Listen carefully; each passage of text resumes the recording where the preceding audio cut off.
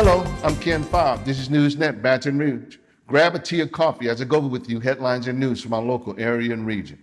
The Louisiana Department of Children and Family Services began a new effort to collect past due child support in July of this year called the On the Road Again Project. In its first month alone, the program collected nearly $122,000 in overdue child support payments, and these funds were owed to 174 children.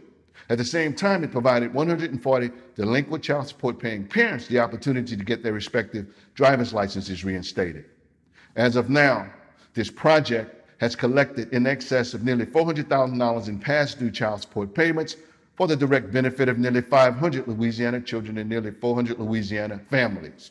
All delinquent child support paying parents are encouraged to opt into this On the Road Again project in order to have their suspended driving licenses reinstated. And for more information, simply visit your local child support enforcement office.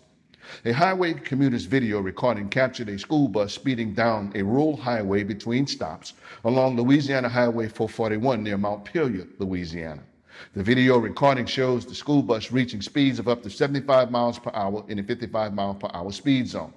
The bus appeared to be from the Holden, Louisiana area. And when the video footage was posted on social media, it understandably caused an uproar of concern from parents. The matter was investigated by the Livingston Parish School System. The school system acknowledged that it was a driver of one of its buses. However, so far, they have indicated that the driver will not be fired.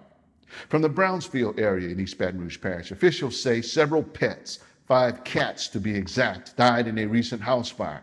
On Wednesday morning around 9 a.m., the Central Fire Department, along with the Baton Rouge and Baker Fire Departments, assisted the Brownsfield Fire District when called to a house fire on Governor Davis Drive.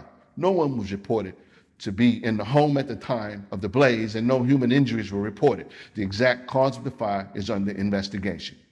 The Louisiana Department of Transportation and Development will be conducting an open house for the public to discuss the proposed construction of a flyover ramp from I 10 West and an exit ramp from I 12 West to College Drive in Baton Rouge. Officials believe this flyover ramp will improve traffic flow within the I 10 I 12 split or interchange. The public is invited to ask questions and to discuss ideas related to this project. This meeting will take place on Thursday, October 24th at the Baton Rouge Marriott located at 5500 Hilton Avenue from 4 p.m. to 7 p.m.